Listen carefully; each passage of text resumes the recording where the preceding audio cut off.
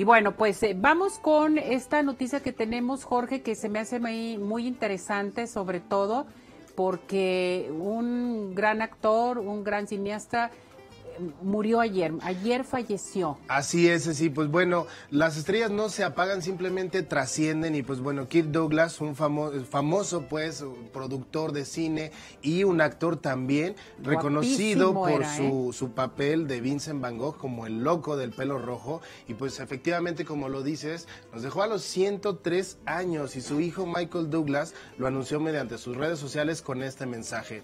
Con tremenda tristeza, mis hermanos y yo anunciamos que Kirk Douglas nos dejó a la edad de 103 años. Es decir, recordarle a toda la gente que, bueno, un hombre en la época dorada del cine, realmente una leyenda extraordinaria. Su trabajo recordado por siempre y por muchos, tanto como director, como actor, como amigo, como padre también, pues, de, muchísima, de, de toda la gente que estuvo en contacto con él.